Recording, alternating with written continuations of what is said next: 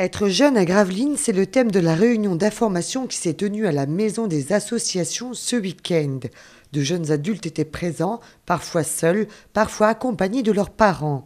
L'occasion de faire le point sur les dispositifs destinés aux jeunes de 17 à 25 ans. Donc les jeunes, on, les a et souvent ils, viennent prendre contact avec nous directement au service jeunesse. Donc euh, dans le cadre par exemple d'un FIGE. Et puis après au niveau du FIGE, on les aide à faire leur dossier, à monter leur dossier.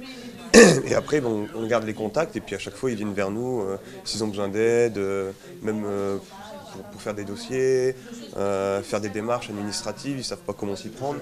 Ils viennent directement vers nous et puis nous, on les aide à s'orienter. L'aide au permis de conduire, à la formation BAFA, le RME ou encore le FIGE, de nombreux leviers sociaux ont été mis en place pour la jeunesse.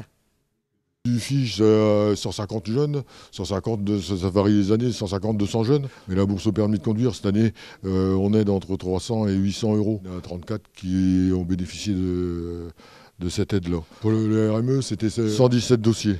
Travers toutes ces aides au niveau des jeunes, c'est de faire en sorte qu'il y ait le moins de décrochage scolaire, par exemple. Euh, au niveau des, décrochages collège, euh, je disais pendant la, réunion avec les étudiants, il y a, y a 48% d'ouvriers qui décrochent.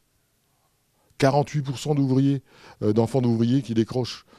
Pour ceux qui n'ont pas pu assister à cette réunion, le service jeunesse est ouvert au public du lundi au vendredi ou sur rendez-vous au 03 28 65 52 85.